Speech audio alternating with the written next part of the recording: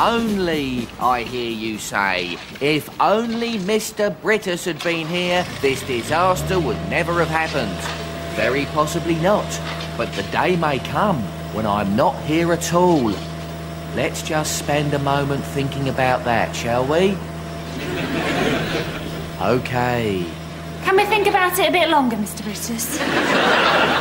Now, a brief word about basic safety techniques. The golden rule is Linda. Um. I'll remind you, shall I? On seeing a potential hazard, we think about it, don't we? We identify the problems, then we tell the rest of the team. Think, identify, tell. Tit. Pardon? I said tit, Mr. Brittas. Timothy, It's a mnemonic, Mr. Brittas. what? Think, identify, tell. T I T. Tit. I'm so sorry I'm late, Mr. Brittas. I've had a bit of trouble finding a fire extinguisher. If you remember, we lost three that time they took off your trousers and sprayed foam all over your... Stop right there. Sorry, Mr. What's he done wrong, everyone? Did all promise not to mention the Rotary Club, didn't we? Gavin, I'm talking about the fact that he's not wearing a safety hat. You can't come in here without a hat, Colin. You're right, Mr. Brittas. I'm sorry. Are you going to be very much longer? Mr. Donaldson. I've got eight men waiting out there to come in and start work. There you are, Colin. You're holding up Mr. Donaldson now. All because Colin's not wearing a hat. Linda, go and get Colin a hat, please. I'll bring it back in a minute.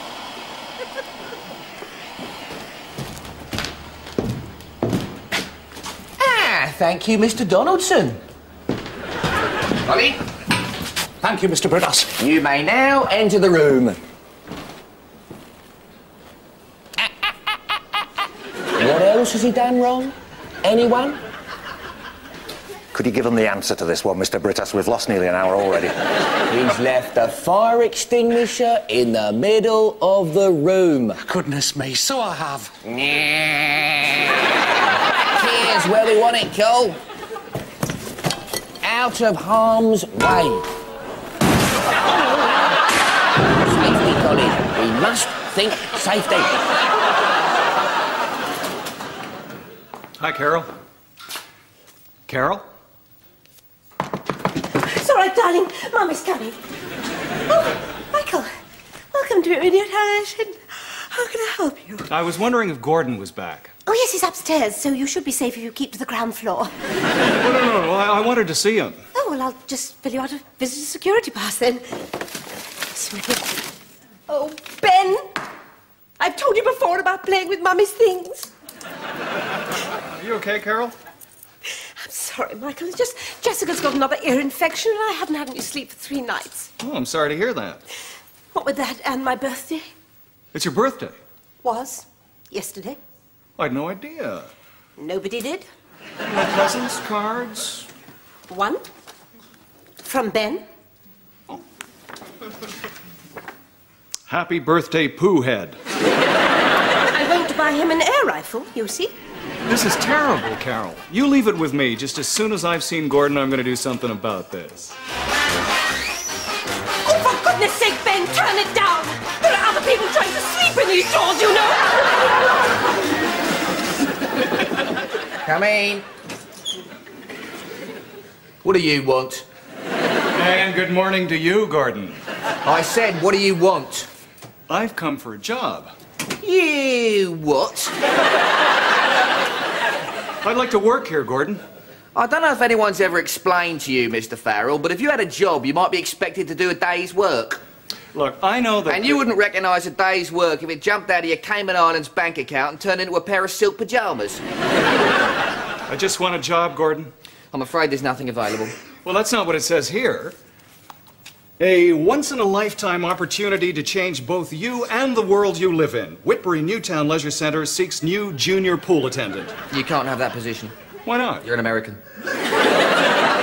Married to a British national. I checked it out, Gordon. Would uh, Julie have application forms? You leave my secretary alone. Julie, bring me in the application forms, please. I want to keep them under lock and key. Brittas. What sort of emergency, Colin? Welcome home, Gordon. One moment, my darling, please. Michael, what are you doing here? Oh, I just dropped by. Now, I don't know why you're bothering, because no one's going to apply. Uh, Colin, why exactly would a builder want to set fire to his own hair? Oh, I saw you in the restaurant last night. What? Well, I was helping out in the kitchens. That's why you got an extra oyster. Sorry. I'm always doing that. all right, all right, I'll deal with it, Colin. Sorry, my darling. What's this about restaurants? Sorry? I thought you were in Manchester with your mother. Yes, I came back early for dinner. Dinner? That's nice. Who with? She had dinner with me, Gordon. You? I hope you don't mind. You had dinner with him, just the two of you? Well, obviously not just the two of us, Gordon. There was No? a whole bunch of us. Yeah, we were celebrating Carol's birthday. Carol's birthday and I missed it. That's why Helen wanted to be there, to represent you. Yes, yes, that's right. I went over to say happy birthday from all of us. All right, my darling, we'll talk about it later. I've got an emergency to deal with. Michael, that was brilliant. I don't know how to thank you. Hey, Helen, I've been there, you know. Oh, God, I'm so sorry, Mrs. Brittas. Well, never Oh, mind, I should have realised. You know, there you were, that lawyer, champagne, Oh, oysters. it's wonderful. I do not believe it. You sacrificed a precious evening with your mother so that management could be represented at Carol's birthday. You are a ministering angel, my sweet. I've always admired that about Gordon. He, he really trusts me. So, you're telling me this man picked up his comb This comb, Mr. Brittas, seems ordinary enough. and his hair caught fire. So, why would it set his hair on fire? Well, it's a mystery, isn't it? Right, here's what you do, Colin. Give him an aspirin. If that doesn't work, you'll have to send him home. We'll call Mr. Brittas. Now, about this party last night. Party? Carol's birthday party. Did anyone remember to give her a present? Present. I wish you'd stop repeating everything I say. I don't know anything about a party. You don't know anything about a party? Nobody told me anything. Nobody told you anything? Uh. Would you mind waiting, please? I'm trying to get some sense out of my deputy manager. Hey, Councillor Druggett called. He wants to know about Brussels and are you definitely leaving? Right, I better deal with it. Just make sure he knows we're not liable. Mm, is this the one that set fire to his head? Did you know about this party? What? Mr. Brittas told me that Carol had a birthday party last night. Oh, God. Did he ask if you were there? Yes. Well, what did you say? What could I say? I said no. Were many members of staff not invited? Oh, crikey, we're not ready for this. Sorry, Colin. Was I the only one? Sorry, Dermot. You want something from your lunchbox? Hang on. Oh. He's asking about the party. What? Mr. Brittas has been asking Colin about the party. Lord, what do we do now? It's all right, it's all right, as long as we all say the same thing. We just have to make sure that everybody knows the story. Listen, can you two say you were at a party last night? A party? Why? Well, Michael's told Brittas that we were all celebrating Carol's birthday at the Trocadero. So if he asks, you were there, OK? Yes, fine. It's not that important, but it would help. And we'll say Gavin was the one who organised it. Should be a few brownie points there, eh? Well, I'd rather not if you don't mind. Why not? I'd rather not say I was there when. Well, I wasn't, was I? Well, none of us were there, Gavin. That's the whole point. It's made up. Well, I prefer not to have to tell a lie. Oh, come on, Gavin. Oh, it doesn't matter as long as we get enough of the others. I could bring Edward. What? As a matter of fact, I'd feel happier if he came. I'm actually quite a shy person. Linda. Oh, let her bring him. The important thing now is to tell everyone else. Oh, except Colin, because he'd already said he didn't know anything about it. Right. So it was the Trocadero. We got there just after eight, back just after midnight, and everyone had a wonderful time. Right, well, I'll tell Carol. Thanks, Julie. I could do the pool in the changing rooms. And I'll catch anyone who comes in here. I'll phone Edward. I sometimes wonder if it's all worth it, you know, all the lies, the deception, the anxiety, just for a few moments of illicit pleasure. Yes. I think it is.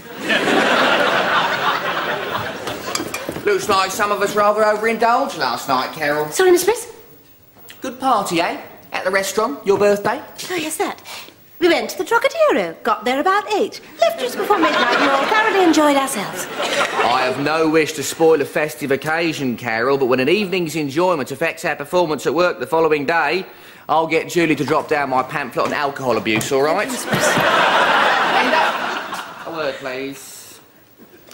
Now, you were at this party last night, were you? I certainly was, Mr. Brittas. We all went to the Trocadero, got there about eight. yes, I know that, Linda. What concerns me is Carol's present. I take it she did get one, didn't she? Oh, yes. And what was it? Um, I'm afraid Edward and I didn't see. No? It was in its little box by then.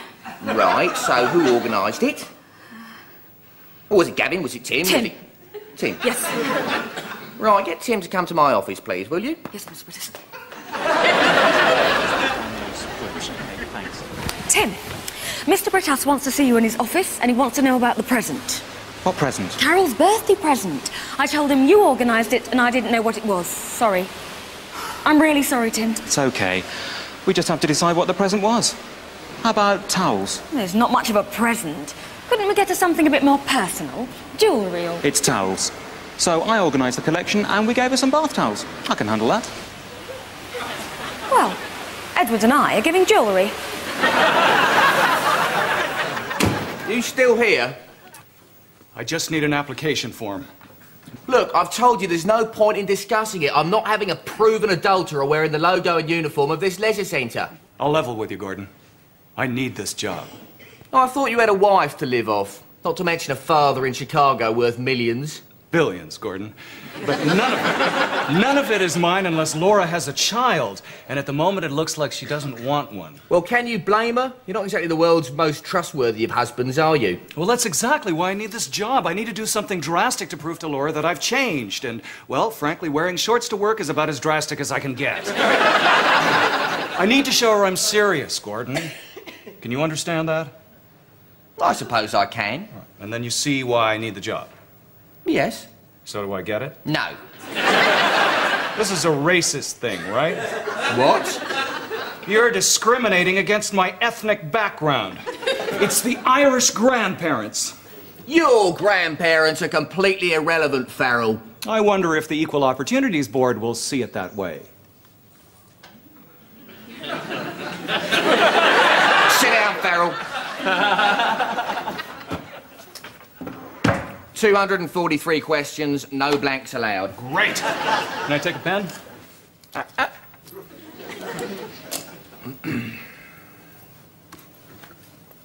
Sign here, please. Do I have to sign for this pen? Just write your name, Farrell.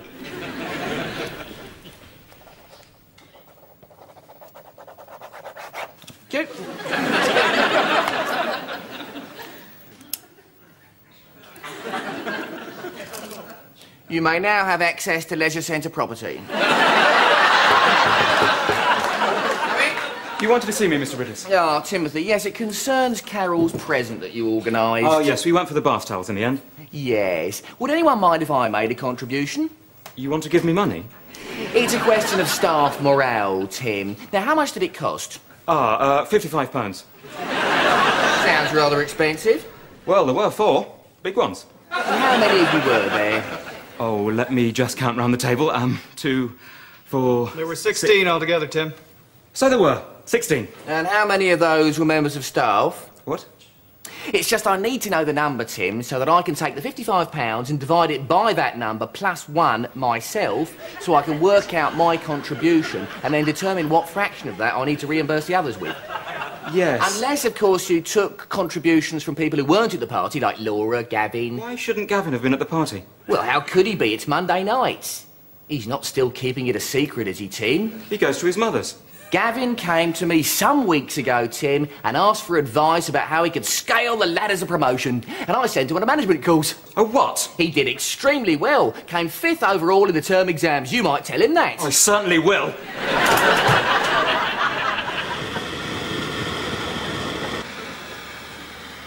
It's funny how the smell always lingers, isn't it? Eh? In kitchens. It's being a vegetarian.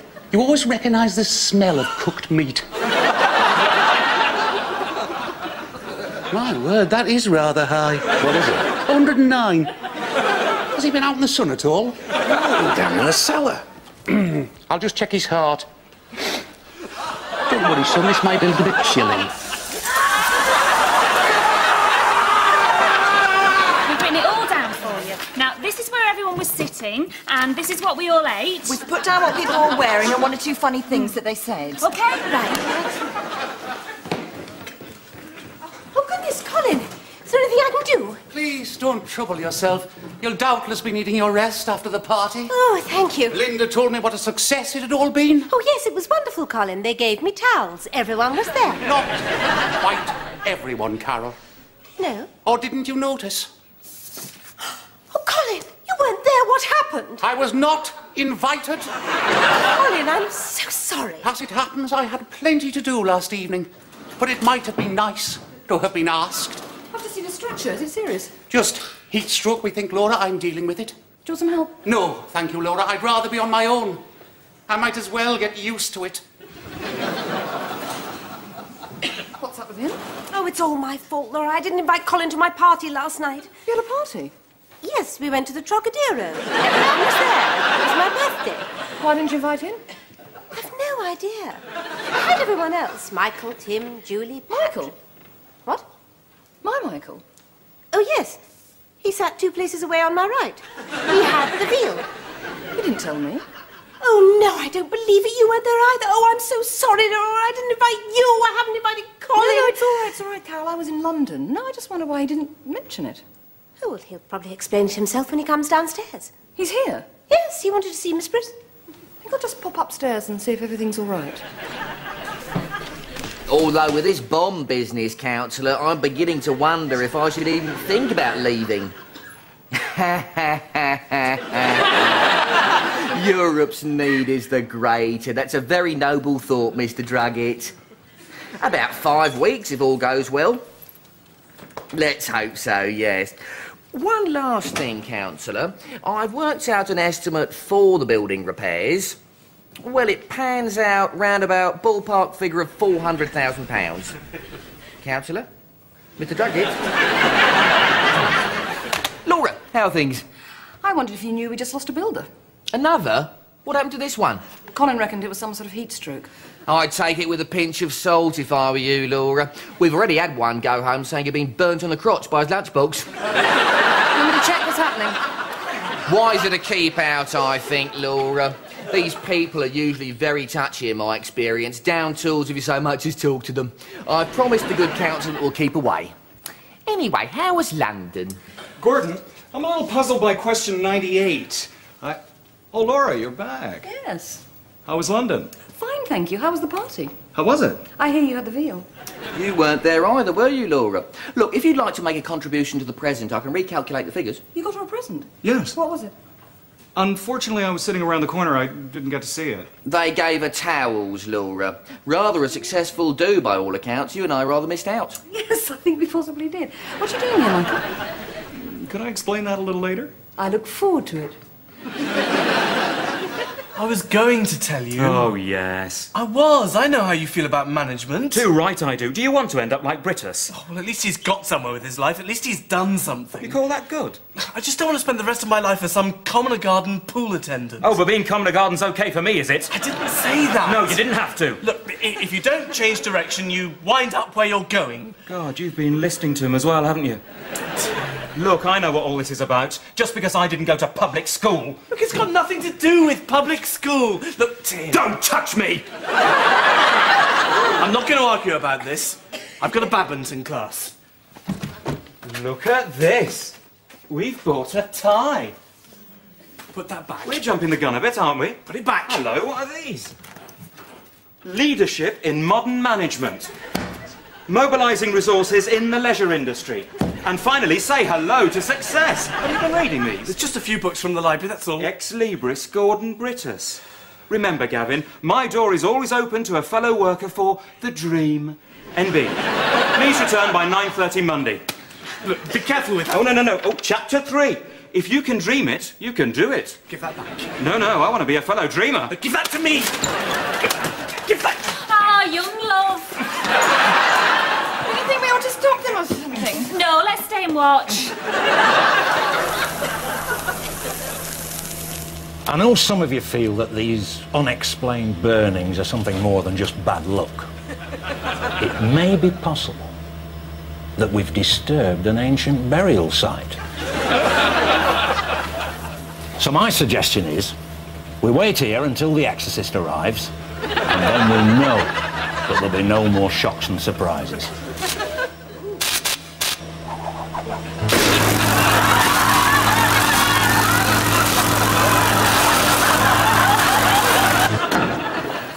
Carol, about this party last night, could I ask a few questions? Questions? Yes, just one or two things I'd like to get clear. Certainly, Laura. If you'd just excuse me a moment.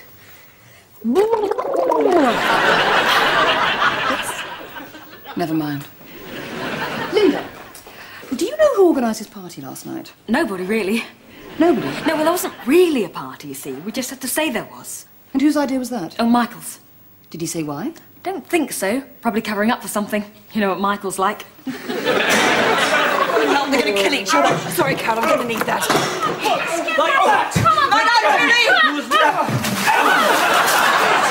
Linda, do something about them, will you? Sorry, Gavin, I have to be firm with you. What's going on? He lied. All I did was go to an evening class. He lied about oh, Everybody tells lies sometimes. You have to. Not to me. No, no, I think Gavin's got a point. What? Well, I've been thinking a lot about this recently, and I don't see how you could not tell lies in a relationship. I mean, if everyone told their partner everything, most relationships wouldn't last ten minutes. We'd all be getting divorced and.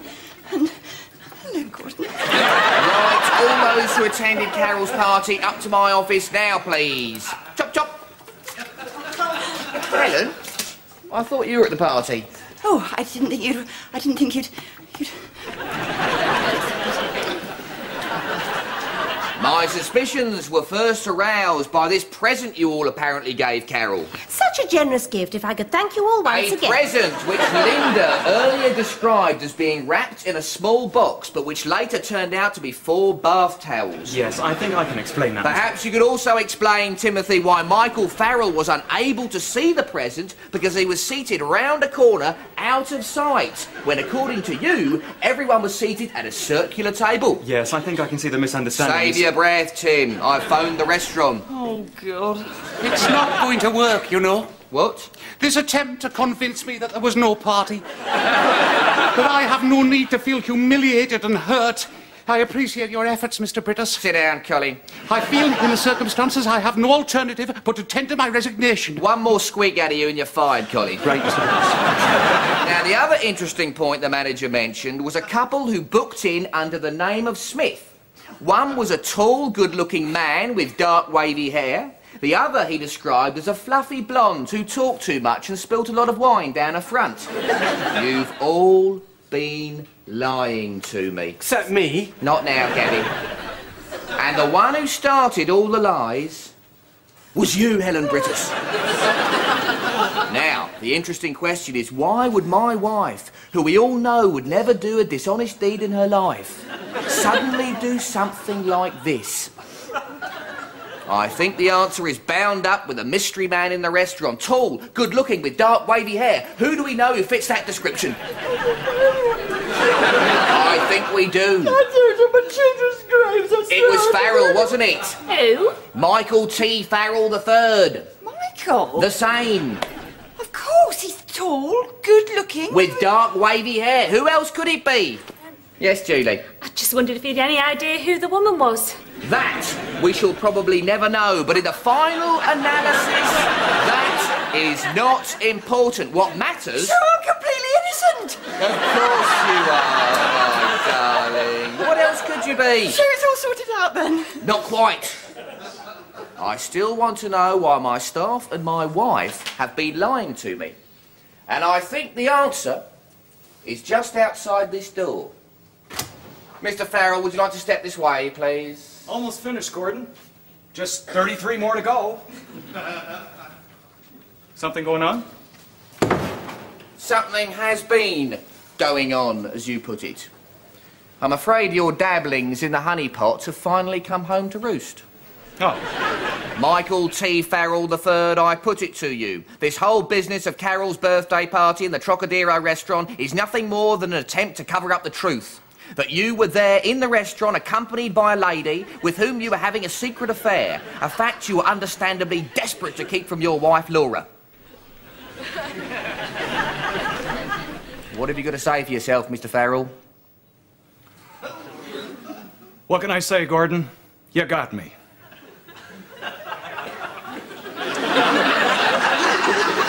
Can't believe it, Michael. No, that's true. Every word of No, it. no, no, no, I don't mean the Miss Marple bit. You applied for a job. Oh, that. Well, there's not much hope of me getting that now. But you applied. They can't take that away from you. We'll get this framed. Thanks. Number 87.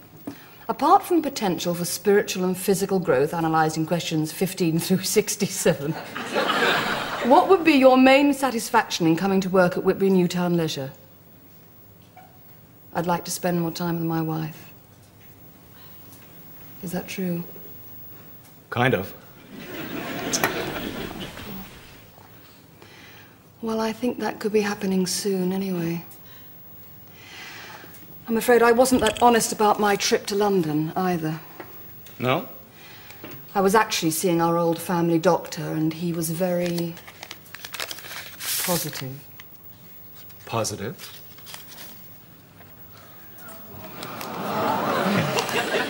Does, does, does this mean that. Say hello to Barney. Hello, Barney. You're gonna be one rich bunny. Sorry, my darling. Rather longer than two minutes, wasn't it? Never mind, Gordon. I had to call the contractors to complain about the builders. Have you seen them? Sitting in that van like statues for three hours now. Pretty depressing. Oh, Gordon, isn't it a lovely day? Is it? Look, over there. She trusts him completely, doesn't she? If only she knew. Well. Someone ought to tell her. Perhaps I'll pop round there myself this evening on some pretext. I don't think I would, Gordon. No? Well, I mean, what good would it do? Well, it would doubtless mean the breakup of her marriage and very possibly destroy her faith in human nature. But at least she'd know where she stood. It's an awful shame. It's not that important. Not important? He's been unfaithful, Helen. Yes, but I think with some people, in some cases, that sort of thing doesn't mean as much as you'd think. But she loves him, and he doesn't deserve it. Perhaps that's when you need it most, when you don't deserve it.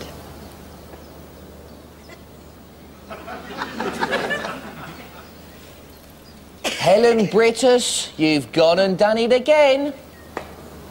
What? I think I know your every move, and suddenly you go and surprise me all over again. You've been thinking. all right, all right. I won't tell her. His secret is safe with me. I think it's best. Yeah, come on.